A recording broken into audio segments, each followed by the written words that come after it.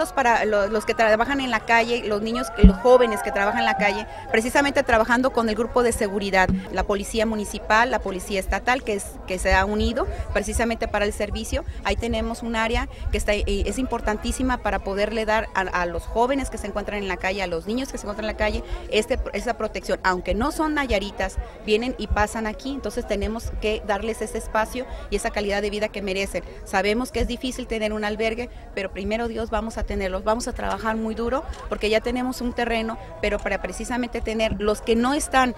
porque no los aceptan en ningún lugar,